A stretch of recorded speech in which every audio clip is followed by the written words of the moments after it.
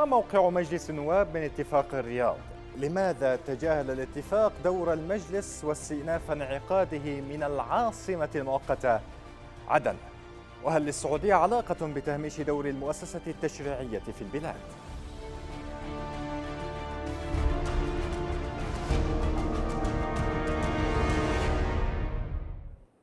أهلا بكم نقلت أنباء غير مؤكدة أنه عند وضع اللمسات الأخيرة لمسودة اتفاق الرياض تم حذف فقرة تنص على استئناف جلسات البرلمان في عدن. لكن ما هو مؤكد خلو الاتفاق من أي بند يشير إلى دور المجلس مجلس النواب في المرحلة المقبلة أو التأكيد على أهمية انعقاده في العاصمة المؤقتة عدن.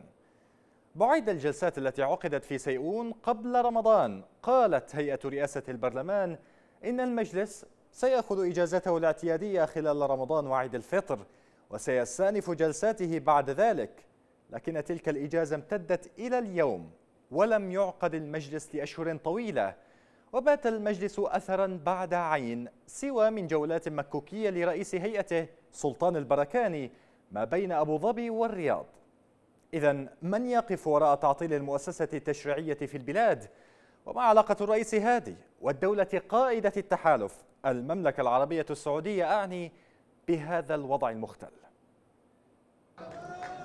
بعد غياب قسري دام أربع سنوات وفي ظل هذه المرحلة الفارقة في تاريخ شعبنا العظيم فقد ألتام مجلس النواب بمدينة سيئون التاريخ والحضارة في 13 إبريل 2019 في منتصف أبريل الماضي عقد مجلس النواب جلستين انتخب في واحدة منهما هيئة رئاسة جديدة وأنهى جلسته الثانية على أمل العودة لدورة انعقاد بعد إجازة عيد رمضان. لكن البرلمان الأطول عمرا في تاريخ اليمن أضاف لنفسه لقبا جديدا ليغدو البرلمان الأطول غيابا ربما على مستوى عالمي. تمكن البرلمان من عقد جلستين يتيمتين في سيئون وبعد أيام من رفع جلساته تعرضت القاعة التي انعقدت فيها الجلسات لحريق لا تزال أسبابه غامضة حتى اليوم. وعلى الرغم من زيارة رئيس البرلمان الجديد سلطان البركاني إلى أبو ظبي في النصف الأول من يوليو الماضي وهي زيارة التي قال مراقبون إن غرضها الأساسي هو محاولة إقناع حكام الإمارات بالسماح لمجلس النواب بالانعقاد مرة أخرى في عدن أو سيئون إلا أن هذا الحلم بدا بعيد المنال. فلم يتمكن البرلمان من عقد جلسة أخرى حتى اليوم. وعلى الرغم من خطورة الأحداث وتلاحقها إلا أن البرلمان ظل خارج نطاق الفاعلية طوال المدة الماضية إلى أن ظهر رئيسه وبعض أعضائه ضمن مباركي اتفاق الرياض. الاتفاق الذي قفز على المجلس ولم يشر إلى ضرورة منحه الثقة للحكومة التي سيتم تشكيلها وتؤدي يمينها الدستورية في عدن. يقول البعض إن تجاوز الاتفاق الموقع بين الحكومة والمجلس الانتقالي للبرلمان أمر طبيعي نتيجة للدور الديكوري للمجلس ولأن المجلس يعبر أيضا عن حالة اختلال القوة التي ورثتها سلطة الرئيس هادي من عهد الرئيس المخلوع والتي لم تعد قادرة على التواؤم مع الوقائع الجديدة ليبقى مجلس النواب كشاهد زور. وهي الوضعية التي يبدو أن ممثلي الشعب لا يجيدون غيرها. كذلك يبين الله لكم آياته لعلكم أجدد الترحيب بكم مشاهدينا الكرام إلى هذه الحلقة من المساء اليمني. كما أرحب بمن ينضم لي هنا في الاستوديو فيها عضو مجلس النواب الأستاذ شوقي القاضي. أهلا بك أستاذ شوقي. حياكم الله أهلا وسهلا. إذا في البداية أستاذ شوقي ما هو موقف مجلس النواب من اتفاق الرياض؟ على الأقل ما هو موقفك كعضو في مجلس النواب من اتفاق الرياض؟ آه، شكرا لك أخي وشكرا للسيدات والسادة المشاهدين. أهلا وسهلا. موقفي آه، موقف الحريص على آه، أن يستقر بلده وأن تخرج المكونات السياسية باتفاقات تعيد لحمة الشرعية لمواجهة الانقلاب بغض النظر عن من هي هذه المكونات.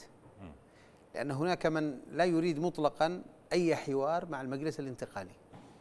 المجلس الانتقالي صار واقعا على الأرض. شئنا أم أبينا. أحببناه كرهناه اتفقنا معه اختلفنا معه لكنه أصبح واقعا على الأرض. نشأ كأي قوة أتيحت له الفرصة في أن يكبر وأن يدعم بغض النظر عن إدانتنا لمن آه، يجزئ الشرعية إلى مكونات متنافرة. نحن نتحدث عن أمر واقع مثل ما نشأ الحوثيون أو نشئ الحوثيون ودعموا نشئ المجلس الانتقالي ودعم. في حين غفلة من الشرعية غفلة ساذجة غفلة بليدة غفلة لا مسؤولة. يعني تتحمل وزرها الشرعية.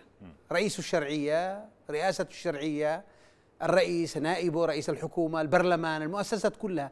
مؤسسات الشرعية تتحمل آه، مسؤولية نشوء أي قوى تنافر الشرعية وتتمدد على حساب الشرعية. أنا الآن وقد آه، قلتها أكثر من مرة. ننتظر الآن طارق محمد عبد الله صالح آه، ينشأ أيضا نفس الكلام ويقوى وإلى غير ذلك. وكم حذرنا من ذلك. لا نريد أي قوة. لا في تعز ولا في مأرب ولا في الساحل ولا في عدن ولا في أي مكان. لا نريد مطلقا أي قوة تتمدد لتنافر الشرعية وعلى حساب الشرعية وكمضادة للشرعية. ماذا نعمل لمؤسسة الشرعية وماذا نعمل أيضا للتحالف. أنا لا ألوم التحالف. التحالف له أجنداته. ليس من بينها مطلقا استعادة الشرعية وبناء الدولة. هذه آخر ما يمكن أن نصدقها في أجندة التحالف. لأنها لو كانت في أجندة التحالف لو كان هذان الهدفان إنهاء الانقلاب واستعادة الدولة وبناء وبناؤها لو كان هذان الهدفان لحققا مبكرا يوم أن انهارت ميليشيا الحوثي. في الأيام الأولى انهارت ميليشيا الحوثي واحتشد واصطف الشعب اليمني كله. اصطفت المقاومة وعاد الجيش واصطفت القوى وتحركت حتى قوى في داخل صنعاء. ومن بينها قادة في قتلوا في صالة العزاء. من بينهم قادة كانوا من ضمن المخطط أن يفجروها على الانقلابيين وعلى ميليشيا الانقلابيين من داخل صنعاء. لكن للأسف قصفوا وقتلوا. اذا دعك جانبا من موضوع ما هي أجندة التحالف. سواء كان بسوء نية سواء كان مرتبك. هذا نقاش آخر. أنا يهمني الآن أين مؤسسة الشرعية؟ رئيس هادي ونائبه محسن وكافة مؤسسات الشرعية ومن بينها البرلمان.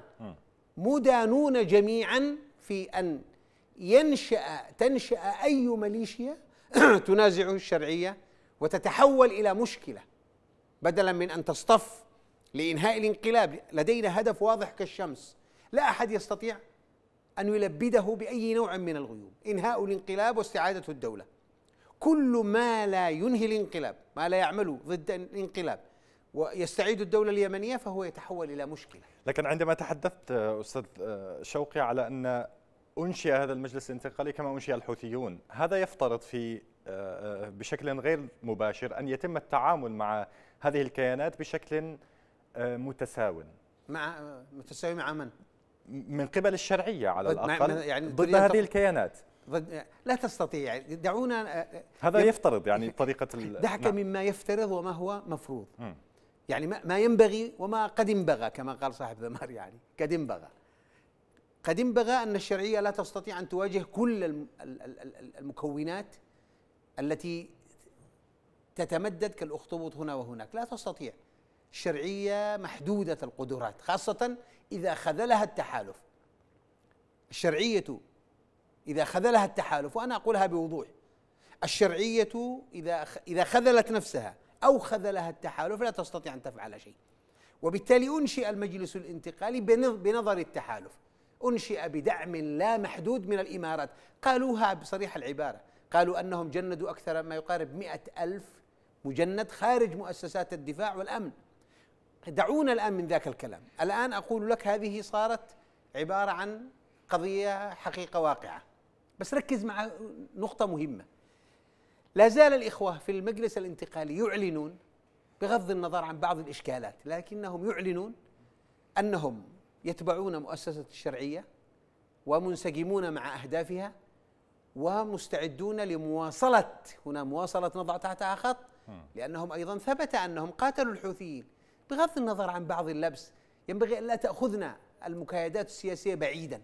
هؤلاء أناس قوة آه، يعني آه، صمدت في الميدان ضد ميليشيا الحوثي ولا زالت بعض مكوناتها هنا وهناك فإذا أحسنت الشرعية يعني دورها وقامت بواجباتها كثير من هذه المؤسسات لن تخذل اليمن ولن تخذل الجنوب ولن تخذل أحد مطلقا. خاصة إذا احتويت بطريقة كما جاء في هل يحتوي يعني اتفاق آه، الرياض بهذه النصوص هل يحتوي المجلس الانتقالي بهذا الشكل أم يعطي الإتاحة لأي كيانات أخرى والتي منها من حذرت منه المجال والتفكير لأن تأخذ نهجه في سياق تحقيق أهدافها إذا ضمن إذا ضمن ضمن اتفاق الرياض انسحاب الإمارات ظاهرا وباطنا وتحولت هذه المكونات كما هو في الاتفاق تبع وزارة الدفاع والداخلية واستلمت منها مرتباتها وأصبحت في أطرها المؤسسية والإدارية والهيكلية. فإن انتماءها لأجندات أخرى سيخف كثيرا ما كل الناس سيئين. لكن إذا بقيت حنفية الإمارات هي التي تصب بينما الشرعية معطلة آه، مرتباتها عن جنودها وعن جرحاها وعن وعن وعن. فالإنسان يدين لمن يعطيه. يعني بالمنطق. لكن إذا ضمن اتفاق الرياض هل يضمن؟ طيب؟ آه، أداء الشرعية سيكون هو الضامن إذا اجتهدت الشرعية. هناك من هناك من لا يؤمل في الشرعية لكن خلونا نؤمل في الشرعية. لأنها إذا لم تقم الآن بدورها فأعتقد أنها الجولة الأخيرة.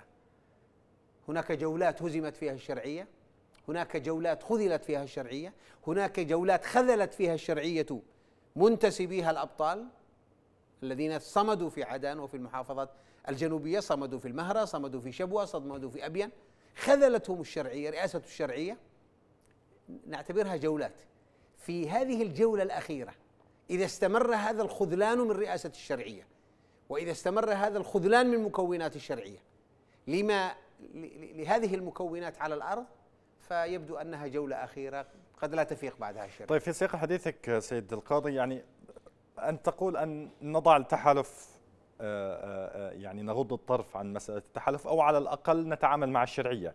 في سياق اتفاق الرياض هناك أكثر من نقطة وأنا حددتها هنا بالخط الأحمر ولا يعني من كثرها قد تتجاوز إصابع اليد أنا أقصد تحت إشراف مباشر من قيادة تحالف دعم الشرعية في اليمن.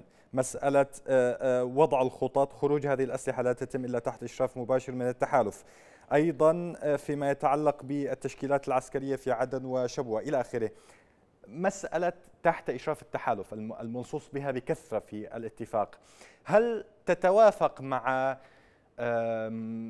المطالب الشعبية اليمنية إن صح التعبير؟ يا أخي الكريم آه، أن يكون في إطار آه، تحت إطار التحالف وتحت إطار طبيعي. لماذا طبيعي؟ م. واقعيا طبيعي.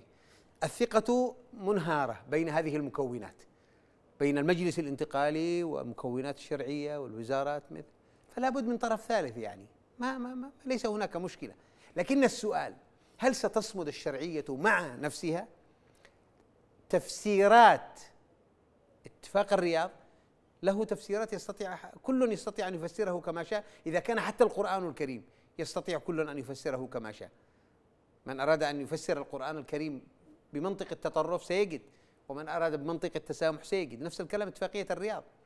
هذه البنود التي صيغت صيغت على أن هناك طرف ثالث هو الموثوق به لتقريب وجهات النظر والإشراف على الإجراءات. ما هو يعني آه، يعني ليست هناك إشكالية في ذلك. طيب بغض النظر في إشكالية ما في إشكال لكنه واقعا أمر طبيعي. الثقة بين الثقة بين المكونين منزوعة. ما الحل؟ لابد من طرف ثالث. على سبيل المثال الآن لو في اتفاق مع الحوثيين لو أن الحوثيين الآن على سبيل المثال يعني راجعوا أنفسهم وأرادوا أن يعني يحلحلوا المسألة اليمنية والمشكلة اليمنية بعد أن فشل التحالف في أن يفي بوعوده في إنهاء الانقلاب واستعادة الدولة. لابد من أطراف ثالثة. طبيعي. عندما لا تنتصر عندما لا ينتصر طرف على طرف لابد من طرف ثالث. في حالة واحدة فقط أن ينتصر طرف هو الذي سيملي شروطه وهو الذي سينفذ ما يريد. لكن في حالة التساوي في حالة الانهزام الطرفين في حالة انتصار الطرفين في حالة الانتصار لا انتصار لابد من, لابد من وجود طرف ثالث.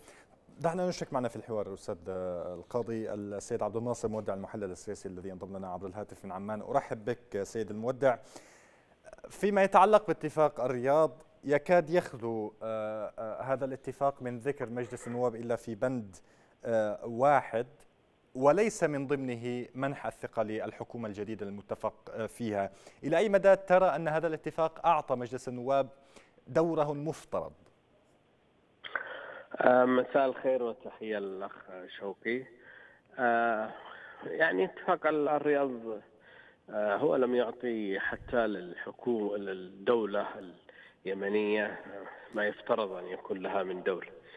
آه، مجلس النواب هو لم يشير له البيان الاتفاق ومن الناحية النظرية الدستورية آه، حكومة معين عبد الملك وقبلها حكومة بن دغر هي حكومات غير شرعية غير دستورية لأنها تمت بخلاف الدستور تم من خلال التعيين وهذه مخالفة دستورية قام بها هادي. آه، لأنه وفق النظام السياسي والدستور اليمني هو يكلف رئيس الوزراء لكنه لم يكلف بن دغر ولم يكلف معين هو تم تعيينهم والحكومات لم تحصل على الثقة من مجلس النواب وبالتالي من الناحية الدستورية الحكومتان آه، حكومة بن دغر وحكومة معين هي حكومات غير شرعية. آه، نفس الشيء حينطبق على أي حكومة جديدة. آه، لا تتم بالإجراءات الدستورية الطبيعية الذي هو التكليف ومن ثم آه، تعلن الحكومة ومن ثم الذهاب إلى مجلس النواب للحصول على الثقة أو إذا ما حصلتش على الثقة تعتبر الحكومة في حكم المنحلة دستوريا. هذا يعني أمور نظرية لكن نقول على الواقع الوضع الواقعي الاتفاق هو أتى هو آه، آه، وثيقة صاغتها السعودية إلى حد ما الإمارات وتم فرضها على اليمنيين وبالتالي هي ليس لها أي قيمة قانونية أو سياسية إلا في سياق آه، الوضع آه، الغير طبيعي في اليمن. بمعنى إنها آه، الوثيقة هذه أو اتفاق الرياض آه، بيتعامل مع قضية الصراع الذي حصل في في عدن لحل هذا الصراع. لكنه على المستوى العام لا أعتقد بأن هذه هي خطوة في اتجاه استعادة الدولة. لأن استعادة الدولة الذي نعرفه إنه آه، لن يتم إلا من خلال هزيمة الحوثيين هزيمه الحوثيين آه، خلال آه، هذه الجولة من الصراع التي لها ما يقارب الخمس سنوات أصبحت أصبحت في حكم المنتهية. وبالتالي الحوثيين أو مواجهة الحوثيين تحتاج إلى منهجية أخرى. الآن السعودية ستغرق في مناطق الجنوب بعد هذه الاتفاقية ستدخل في تفاصيل الصراع الجنوبي الجنوبي آه، الصراع الجهوي الصراع السياسي ستدخل في في مسؤوليات آه، توفير الخدمات وغيرها لأنه آه، كما نعرف الوضع في عدن سيكون حالة من الموسم لا هي حكومة شرعية ولا دولة وصاية فعلية ولا هي أيضا ولا تفضل بالبقاء معي السيد المودع. أعود إليك أستاذ القاضي. سأصيغ السؤال بهذه الجملة. إلى أي مدى أنصف اتفاق الرياض آه، البرلمان من حيث تمكينه من إعادة دوره خاصة وأن هناك كانت وعود أو أحاديث كثيرة عن إعادة انعقاده؟ آه، آمال كثيرة أن البرلمان يجب أن ينعقد في عدن آه، أخي الكريم في في نصوص اتفاق الرياض بند من البنود ينص على ممارسة مؤسسات الدولة لأدوارها. صحيح. تفعيل دور كافة السلطات ومؤسسات الدولة اليمنية الله حسب ينور عليك. السياسية والإقتصادية. وبالتالي لا يحتاج البرلمان إلى نص آه، لا يحتاج مطلقا. البرلمان حقيقة من حقائق مثل ما الجمهورية الجمهورية حقيقة من حقائق اليمن. لا يستطيع أحد مطلقا أن يغفلها باتفاق بأنها ستبقى جمهورية. نفس الكلام هي دستورية وهي برلمانية. وبالتالي هناك برلمان. ما- ما- من وجهة نظري لا يحتاج إلى نص مطلقا. لكن هناك يحتاج من نعم. يحتاج إلى أن يتحمل النواب مسؤولياتهم وتتحمل الأحزاب السياسية خاصة المؤتمر الشعبي العام. والإصلاح الحزبان اللذان يعني لهما أكبر مقاعد البرلمان إذا تحمل هذان الحزبان وكتلتاهما وبقية الكتل مسؤوليتهما يعني المسؤولية ك- الوطنية في هذا الظرف والله لن يستطيع أحد مطلقا لن يستطيع أحد أن يغيب مجلس النواب. مجلس النواب يا أخي الكريم بمجرد ما حذر البرلمان الدولي الشرعية ومؤسساتها في أنه إذا لم ينعقد سيضطر أو سيضطر البرلمان الدولي باعتراف ببرلمان صنعاء سارعت الشرعية وسارع التحالف واستدعي النواب مرتين. المرة الأولى كان في أغسطس 2017 إلى جدة ثم المرة الثانية الذي كانت في إبريل 2019 وانعقد البرلمان في سيئون. لماذا؟ لأن المجتمع الدولي يعتبر البرلمان ركن رئيس في هوية اليمن وبالتالي لا يستطيع أحد أن يغيبه. لكن مسألة استدعائه بهذا الشكل الذي طرحته آه، مرة إلى آه، الرياض ومرة أخرى إلى إبريل وتعط يعني تعطله أو دخوله في إجازة أو أيا كان إلى الآن يوحي بأنه بات ورقة ليس أكثر. بالضبط. هو الذي رضي لنفسه هكذا. أنا لا أحمل أحد بصراحة. يوما ما ربما كنا نقول التحالف وكنا.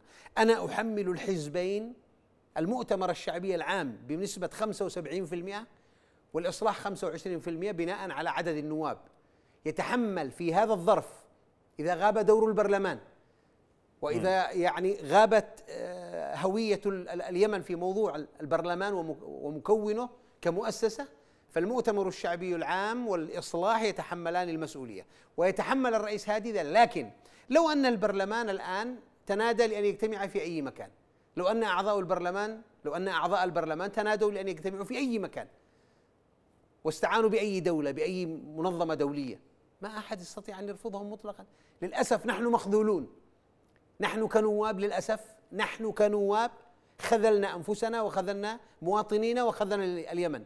للأسف أصبح يعني هناك من يريد ان ان ان, أن يعني ماذا أقول يا أخي؟ أنا لا أريد أن أخرج كلمات آه، يعني جارحة لنا نحن النواب. تتعاطى معنا بعض الدول كربما يعني تعرف أن الإمارات تحاول أن تجذب بعض النواب وهذه الدولة تجذب بعض النواب وهذه الدولة تريد أن تجذب بعض النواب. يعني مع الاحترام الشديد النواب يتحملون مسؤوليتهم. الحزبان الرئيسان يتحملان مسؤولية غياب البرلمان. لا يستطيع أحد. والله لا يستطيع الرئيس هادي ولا يستطيع التحالف ولا تستطيع السعودية ولا الإمارات ولا أحد يستطيع. البرلمان مكون يعترف به المجتمع الدولي كله. ولهذا لا أحمل المسؤولية إلا لأعضاء البرلمان. سيد المودع ما رأيك فيما طرحه الأستاذ شوقي؟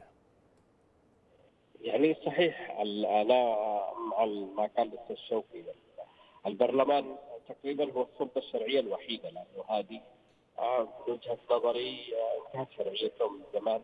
لكن البرلمان يظل هو المؤسسة الشرعية الوحيدة في اليمن. ولو أعضاء البرلمان قرروا أن يجتمعوا في أي آه، زاوية في اليمن في جزيرة القطرة في أي مكان آه، لن يستطيع أحد أن يوقفهم آه، لأنهم هم السلطة الشرعية الوحيدة آه، والذي بإمكانهم أن يتخذوا القرارات الاستراتيجيه ويكون لها آه، على الأقل من الناحيه النظريه ومن الناحيه ال- الاعتراف الخارجي سيكون لها ال- القوة القانونية الوحيدة لأنه اتفاق الرياض وحتى قبله مخرجات الحوار وغيرها تظل مجرد اتفاقات سياسية ليس لها أي قوة قانونية. لكن البرلمان لو افترضنا اجتمع آه، الأعضاء الكافي ال- بالعدد الكافي النصاب من الممكن اتخاذ قرارات حاسمه في ذلك آه، تعديلات مسؤولية وبالتالي المسؤولية الأول والأخير هي على عاتق اعضاء مجلس انفسهم يعني هذا نقولها من ناحية نظرية. لكن من ناحية واقعية الآن أعتقد بأن الوضع صار أضعف بكثير. بعد آه، فشلت السعودية فشل التحالف في تحقيق الرئيسي بعد أن أصبح الحوثي بهذه القوة. أعتقد حتى من كان لا زال يؤمل بعض الأعضاء الذين كانوا الذين متواجدين في قصه الحوثي سيفكر الف مره بالانتهاء آه، إلى البرلمان طيب آه، سيد المودع هناك هناك بعض يعني الصوت لا يصل بشكل واضح. سنحاول إعادة الاتصال والعودة إليك مجددا. أعود إلى نقطة إليك سيد القاضي فيما يتعلق بدور البرلمان. يعني من ضمن البنود في الترتيبات السياسية والاقتصادية يتحدث عن آه، تقديم تقرير دوري يتسم بالشفافية عن إيرادات الدولة ومصروفات ومصروفاتها للبرلمان للتقييم والمراقبة. هل هذا كافي بالنسبة لكم؟ أخي الكريم أنا قلت لك أن البرلمان ليس هناك قوة تستطيع أن تغيبه. سلطات البرلمان ومشروعية البرلمان فوق كل السلطات. كما ذكر الأخ عبد الناصر وهذه عبارة أتفق معه. أنه المؤسسة الشرعية الوحيدة بغض النظر عن أنه تمدد أو هناك برلمانات تمددت مثله وأكثر ما في مشكلة هنا. البرلمان هو المؤسسة التي لا زالت هويتها مشروعيتها قائمة وبالتالي لا يستطيع أحد أن يغيبها. لكن البرلمان نفسه هو يعرف أعضاء البرلمان يعرفون أن أن الظرف ظرف استثنائي ليس طبيعي. وبالتالي ان أن يكون هناك بعض التجاوز هنا أو هناك. ما هو نحن في حرب. انهارت مؤسسات الدولة. البرلمان يعمل في يعني يعني ما يتعلق بمهامه واختصاصاته في الوضع الطبيعي. الوضع الطبيعي أن تكون هناك دولة أن تكون مستقرة لكي يقوم بصلاحياته واختصاصاته من تشريع قوانين ومراقبة حكومة وإقرار موازنة وإعطاء ثقة وإلى غير ذلك. الدولة هذه منهارة الآن. لم تعد لا زالت لا زلنا في ظرف حرب. وبالتالي أن البرلمان يعرف أن مثل هذه التجاوزات ليست مشكلة لديه لأن هناك دولة منهارة. وبالتالي في موضوع كما ذكر الأخ عبد الناصر في موضوع أن يعين فلان أو يكلف فلان نحن نتجاوز عن ذلك. وقد وقد وعدنا الحكومة لأن هناك تخوف كان هناك تخوف من الرئاسة والحكومة أنه إذا عاد البرلمان قد يمارس نوع من أنواع الرقابة الصارمة والشديدة التي ربما لا تتناسب مع ظروف المرحلة. قلنا يا جماعة نحن نعرف أننا في حرب ونحن منخرطون في هذه الحرب ونحن منخرطون في هذا الظرف وبالتالي نتعاطى بمسؤولية ليس بمثالية ما ينبغي أن نفعل. لا هذا ظرف وهذه استثناءات نتعاطى معها. ولهذا ليست هناك مشكلة مطلقا في بعض القضايا إذا ما استطعنا أن نسحب البساط عن كل المكونات التي يعني اتفاقية الرياض لماذا رضي الكثير عنها؟ ليس لأن بنودها كلها مرضية وليس كما ذكر الأخ عبد الناصر في أنها تبني دولة أتفق معه بأنها لا لا تستعد لا تسترد كما نريد لكن نحن لدينا أهداف الهدف الأول أن يسحب البساط على الإمارات التي للأسف عطلت الموانئ وعطلت يعني ونهبت يعني ومزقت المجتمع وشاركت في اغتيالات وإلى غير ذلك. وجود الإمارات مشكلة كبرى. كيف نستطيع أن يسحب البساط عنها؟ يعني ترضون بالحد إذا, إذا حققت من اتفاقية من الرياض. إذا حققت اتفاقية الرياض سحب البساط عن الإمارات والاستغناء عن خدماتها وألف شكر عن هذه الخدمات التي سيكتبها التاريخ خدمات الاغتيالات وخدمات تعطيل الموانئ وخدمات تعطيل المطارات وخدمات طرد الرئيس وخدمات القتل وهذه الخدمات.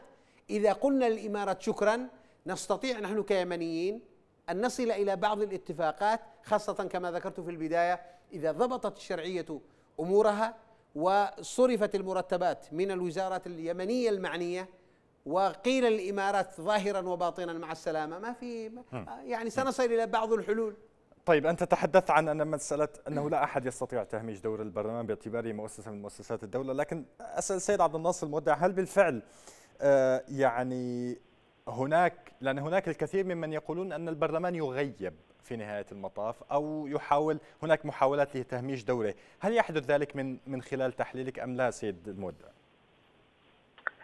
يعني هادي آه، والكثير من سلطته لا يريد أن يمارس البرلمان دوره الحقيقي. آه، لا يريد أي شكل من أشكال الرقابة وخاصة أنه من بعد الحرب آه، تعود هادي والطبقة والفريق الحاكم الذي هم عياله وأسرته وبعض رجال الأعمال. آه، وعلي محسن أيضا وجماعته تعودوا بأنهم يحكموا بدون رقيب وبدون حسيب يتعاملوا مع المال العام والوظيفة العامة وكأنها ملك خاص لهم.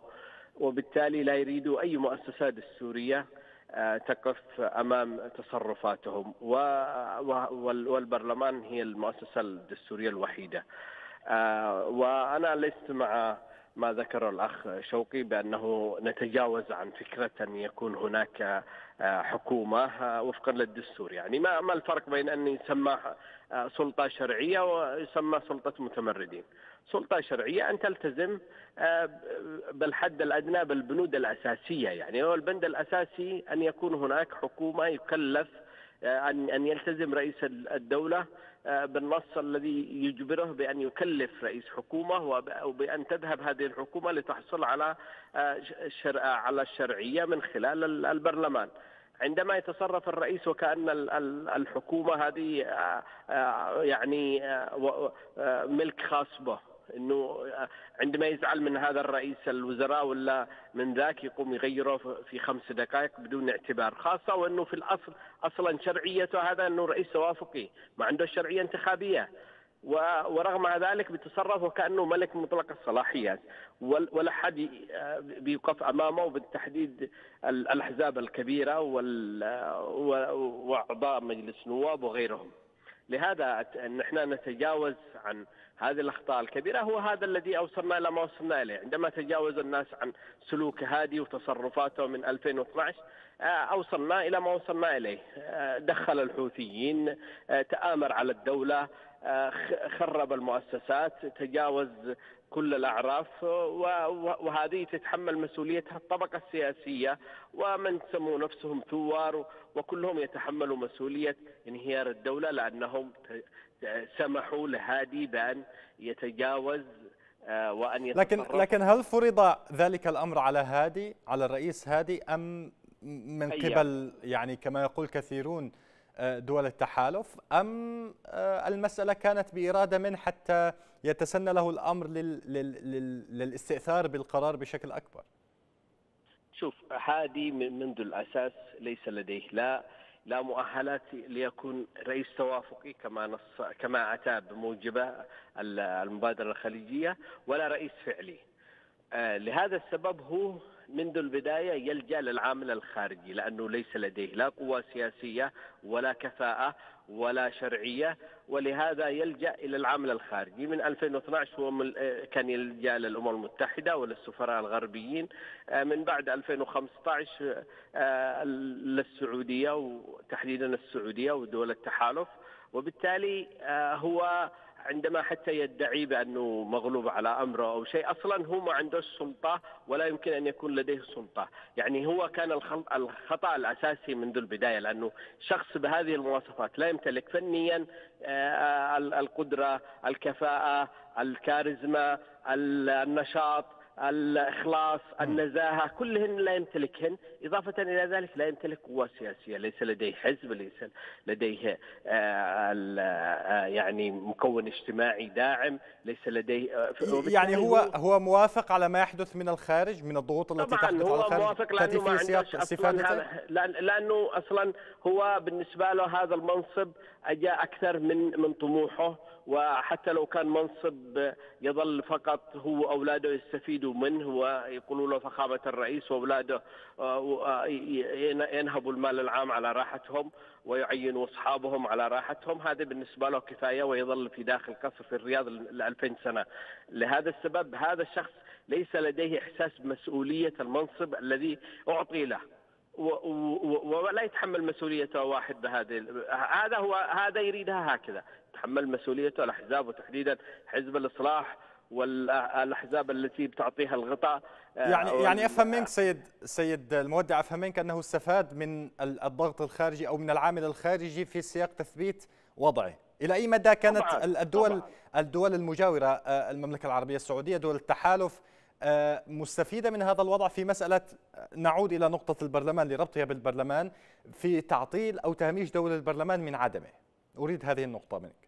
يعني عندما نقول السعودية نحن نتكلم على بعد 2015 لكن قبلها بسبب هادي هو الذي ورط السعودية في هذه الحرب، هادي هو الذي ورط اليمن في هذه الحرب. عندما دخل الحوثيين لا صنعاء. لكن من بعد 2015 أيضا السعودية لا تريد أيضا أي مؤسسات أو أي آه، مؤسسات تحاول أن تحد من من سلطاتها المطلقة ومن حالة الوصاية على اليمن. آه، لهذا هي أيضا تماهت مع هادي آه، في هذا الوضع وتم تهميش البرلمان أو نقول لم لم يبذلوا الجهود الكافية لأنه في بعض الأحيان بذلوا زي ما ذكر الأخ شوقي بذلوا وحاولوا أن يجمعوا أكثر من مرة وفشلوا لأنه النصاب لم يكتمل وحتى حتى أيضا سيئون وأنا أتذكر إن أنا كنت مع الأخ شوقي و و وشككت في النصاب وقال لي لا إن النصاب كان مكتمل ولكن حتى الآن لا زلت أشكك في النصاب الذي حدث في سيئون. وبالتالي أيضا كان هناك حاجة سعودية العقد مؤتمر لأكثر من سبب بما فيها السبب الذي ذكره الأخ شوقي. ولهذا عقد البرلمان. طيب سنعود إلى هذه النقطة. أو سنعود يعني عدنا إلى نقطة مسألة آه، استخدام البرلمان. لكن أنا ألاحظ أن هنا السيد شوق القضية يقوم بتسجيل بعض الملاحظات فيما يتعلق بحديثك. أود أن يعقب عليها في هذا السياق. تفضل أستاذ شوق شكرا جزيلا. أنا أتفق مع الأخ آه، أستاذ عبد الناصر كثيرا يعني في فيما يتعلق بضرورة التزام مؤسسة الشرعية ورئاستها والرئيس هادي بالتحديد ونائبه بالأسس آه، في إدارة الدولة الممكنة. أتفق معه تماما ومن ضمنها في موضوع آه، رئيس الحكومة والثقة وإلى لأنه صار ممكنا. أنا سأقول لك نقطة مهمة أخي الكريم. أنه إلى إبريل 2019 عفوا إلى ديسمبر 2017 مقتل الرئيس علي عبد الله صالح ما كان البرلمان يستطيع أن ينعقد لأنه سينعقد مشظى لن لن يمتلك نصاب مطلقا لأن هناك كتلة كبيرة تتبع الرئيس علي عبد الله صالح كانت منضمة مع الحوثيين. وبالتالي ما ليس هناك استطاعة. بعد ديسمبر بعد مقتل الرئيس علي عبد الله صالح على يد الحوثيين ديسمبر 2017 استطاع كثير من نواب المؤتمر الشعبي العام الخروج وانضموا إلى الشرعية وبالتالي امتلك النصاب. وأنا أريد أن اطمن الأخ عبد الناصر بأن النصاب موجود. هو فقط لا غير آه، قدرة بعض النواب وهذا ليس سرا يعني قدرة بعض النواب على الحضور أمام الكاميرات لبعض الارتباطات في صنعاء أملاك وأسر وإلى غير ذلك. هناك نواب لأنه أريد أن, أن, أن أنبه النواب الآن الذين هم مع الحوثيين لا يزيدون على 15% فقط. من أصل 300 15% يعني نعم. يمكن 45 من 300 مع اجمالا مع المتوفين ما يقارب 40 رحمة الله. يعني لا يزيدوا على 35 مطلق على 15% مطلقا. هناك ما يقارب 10% يعني عندنا من 25 من 20 إلى 30 نائب. ما استطاعوا أن ينضموا هنا وهناك الذي عاش في دولة لا أحد يعرف لا يتواصل إلا بطريقة سرية مع هنا أو هناك. لكنه ليس محسوب لا على الحوثيين وليس محسوب على الشرعية. الشرعية تمتلك أكثر من سبعين في المئة من النواب. يعني لدى الشرعية ما لا يقل عن 200 نائب لو أرادت أن تفعل دورها. لكن للأسف هناك نواب جاهزون. على سبيل المثال عندما دعي النواب في أغسطس 2017 ظلينا ثلاثة أشهر في فندق. يعني للأسف نأكل ونشرب وننام منتظر لقاء واحد أو أو أن نرتب وضعنا. طيب الآن هل سينعقد؟ بعد هذه يعني بعد اتفاق الرياض أخي وبعد الكريم بعد إبريل 2019 بعد اجتماع سيئون المجلس الآن قادر أن ينعقد. والمجلس الآن قادر أن يفرض أجندته بعد أن صارت هناك هيئة رئاسة جديدة. وهيئة الرئاسة بصراحة هيئة يمكن أن تكون فاعلة يمكن أن تقود المجلس. لو أرادت هيئة الرئاسة لو أرادت مكونة من أربعة نواب نح نحترمه ونحمل لهم كل تحركات ونثق رئيس بهم. تحركات رئيس الهيئة هل تمثل البرلمان؟ آه، فيما يتعلق باللقاءات السفارات والجهات و تصب في مصلحة الشرعية والبرلمان. متى سينعقد؟ لا أستطيع أن أقول متى. السؤال يوجه إلى هيئة الرئاسة وأما نحن كنواب جاهزون. أقصد هل من أخبار حول ذلك نعم فيما في يتعلق هنا أرجو أرجو أن لا يحسب علي أنا. هناك خبر بأن هيئة الرئاسة كل كلفت من يبحث عن مقرات في المحافظات في عدن بالتحديد لأمانتها العامة و لكن للأسف يا أخي الكريم وهذه شيء مؤسف. نحن بعد سيئون مباشرة التقينا كنواب تقريبا التقينا ما يقارب 100 نائب في جلسة خاصة بعد اجتماعات سيئون وأقرينا أن يبدأ المجلس بتشكيل اللجان. لماذا إلى الآن لم تشكل اللجان؟ هذه مشكلة. تتحملها هيئة رئاسة المجلس ما رأيك بهذا الكلام سيد المودع؟ اولا أنا أتمنى إنه إنه هناك 200 نائب جاهزين ومستعدين أن يكونوا آه، أن أن يحضروا أي اجتماع لمجلس النواب لأن هذا يعطي بصيص أمل إنه آه، إن في معنا برلمان لأنه كما ذكرت لك البرلمان يظل هو المؤسسة الشرعية الوحيدة والذي هي أيضا القادرة على أن تخلق واقع قانوني في داخل اليمن يفرض على العالم أن يقبل به ايا كان هذا العالم. آه لكن ما أعرفه إنه آه إنه حتى اجتماع سيئون آه عندما قال الأخ شوقي بأن البعض خايف إنه يظهر في أمام الكاميرا لأنه خايف من الحوثيين، الحوثيين يا أخي العزيز لديهم من سيأتيهم بأسماء من حضروا أكثر من طرف. يعطيهم هذا هذا هذا هذا هذه الأسماء. وبالتالي أنا لا زلت أشكك بان بأن هذا الرقم حقيقي آه، لأنه نتمنى أنا أتمنى آه، وأتمنى أيضا أن هؤلاء يوجدوا لهم مكان آمن، عدن لن تكون مدينة آمنة آه، لا لأنه عدن ما لم ما لم يتم هزيمة الانفصاليين فيها آه، لا أعتقد بأنها مكان آمن لعقد البرلمان لأن الكثير من النواب لن يأمنوا بأن يذهبوا إلى عدن. نريد أي مكان في داخل اليمن يكون آمن آه، ويوفر للنواب مكان. ليتصرفوا فيه بحرية آه، لأنه مهم جدا أن يكون هناك برلمان أن يعقد هذا البرلمان أن يكون أيضا انعقاد مش فقط انعقاد سفري أن أن يكون انعقاد دائم وأن يظل النواب وأن يناقش القضايا الرئيسية. لأنه ما دام إحنا لدينا هذه المؤسسة الوحيدة الشرعية آه، نستطيع أن ان ينبثق منها شرعيات أخرى شرعية رئاسة لأنه إحنا بحاجه الآن إلى شرعية رئاسة وهذه وهذا أمر مهم جدا. من هو حريص على اليمن؟ عليه أن يبحث عن شرعية عن شرعية حقيقية عن شرعية رئاسية. ومجلس النواب هو الوحيد الذي قادر أن تنبثق من آه، آه، هذه الشرعية. لا نظل نتحجج بأننا نحن تحت البند السابع البند السابع هذا كلام فاضي. البند السابع هو يتعلق بقضايا هامشية قضية العرقلة ما يسمى التسوية السياسية وفرض عقوبات. هذا هذا ما يتعلق بالبند السابع. ليس هناك البند السابع الذي يفرض على اليمن الوصايا الكاملة. وإن كان آه من المستغرب أن مثلا يدعو الرئيس هذه لأن يجتمع البرلمان في مدينة وهو سيناقش ربما إجراءات آه، آه، تقيد سلطاته. على كل حال أشكرك مش جزيل من صلاحيته. لا لحظة لحظة. لحظة. من الناحية الدستورية مش من صلاحية هذه البرلمان ينعقد من من تلقاء نفسه من بنسبة في العاصمه في العاصمة العاصمه لكن أظن في خارج العاصمة يحتاج الأمر لدعوة من الرئيس لا لا لا على كل حال سأسأل السيد شوقي القاضي حول هذه النقطة. أشكرك. أشكرك جزيل الشكر الاستاذ عبد الناصر المودع المحلل السياسي. كنت معنا عبر الهاتف من عمان. حول هذه النقطة آه، وأيضا حول مستقبل آه، آه، الاتفاق اتفاق رياض ودور البرلمان. تفضل أستاذ شوقي.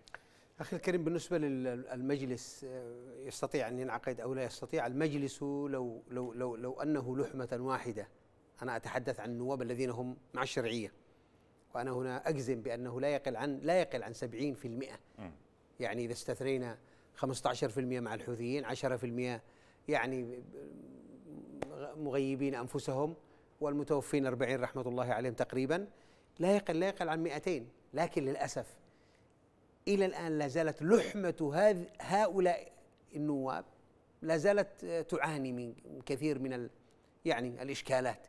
ولهذا لماذا أنا حملت كذا بوضوح؟ حملت المؤتمر الشعبي العام والتجمع اليمني للإصلاح مسؤولية التحام المجلس وقيامه بواجباته. ولهذا يستطيع أن ينعقد حتى لو لم يشاء زيد أو عمرو. هناك لوائح أو ترتب وتنظم لكنها لا يستطيع أحد أن يغيبني مئة في المئة. يعني إذا رفض شخص ما الرئيس أو غيره لا, لا, لا يمكن مطلقا أن يقول أحد بهذا.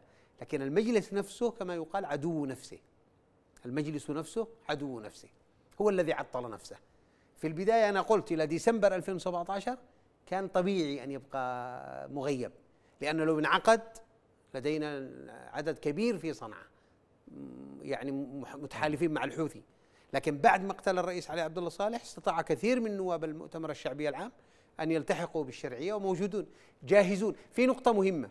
إذا ظل إذا ظل إذا ظل هذا الأداء السلبي للشرعية فيما يتعلق بمجلس النواب وظل هذا الأداء السيء لهيئه رئاسة المجلس آه، نخشى من بعض النواب ما يستطيعوا يتحملوا البقاء خارج اليمن.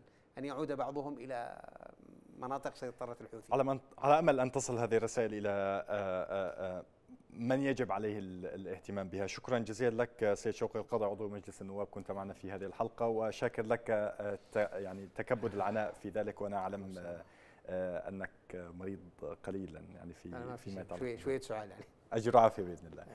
الشكر موصول لكم مشاهدينا الكرام على حسن المتابعة والإنصات في ختام هذه الحلقة. تقبلوا تحياتي وتحيات طاقم العمل الفني والتحريري. إلى اللقاء.